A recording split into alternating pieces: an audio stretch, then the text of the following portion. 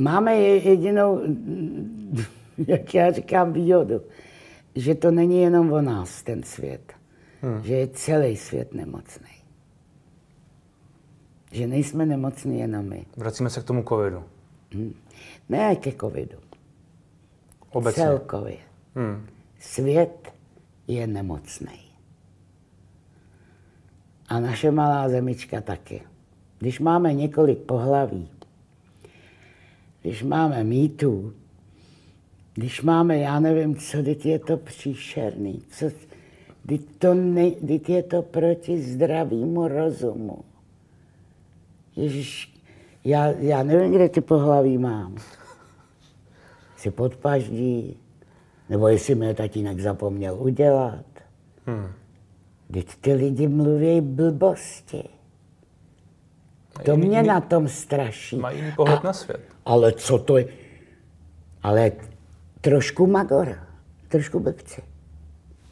Tak mě ukažte ty pohlaví.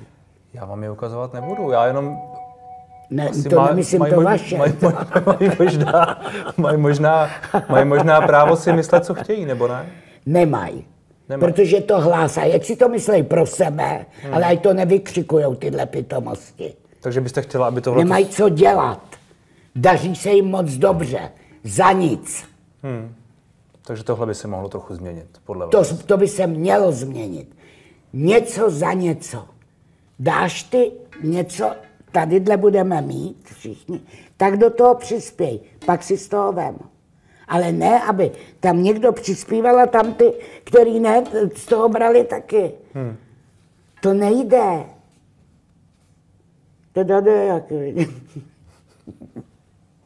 ne. Trochu vylečit svět. Trošku vylečit svět. Tak se to podaří. Nemyslet na blbosti.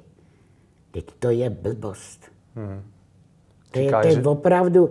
Eh, kdo, kdo, já si myslím, že nemají mozek. A nebo to dělají na schvál. Kam až vydržíme. Hmm. Tak uvidíme, jak to dopadne. Děkuji moc za rozhovor. Ahoj. Na